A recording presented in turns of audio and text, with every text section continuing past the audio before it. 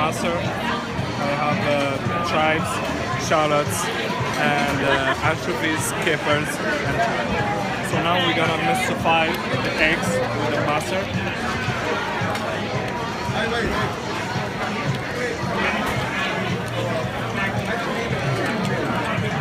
It's like we're making a mayonnaise.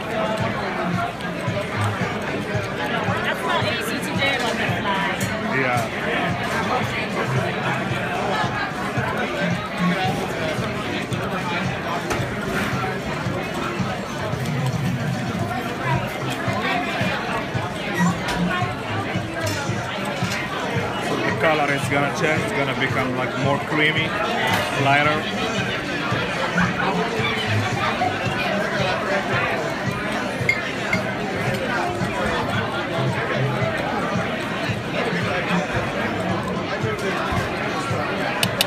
Now we're gonna mix.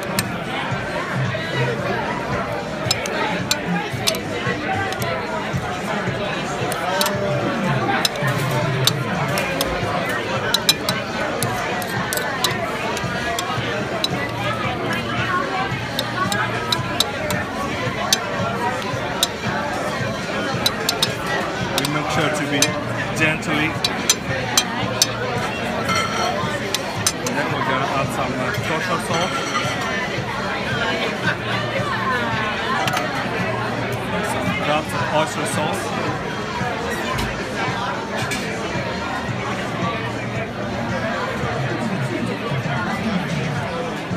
Three crushed pepper.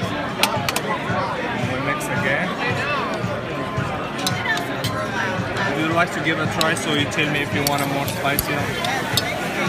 Just keep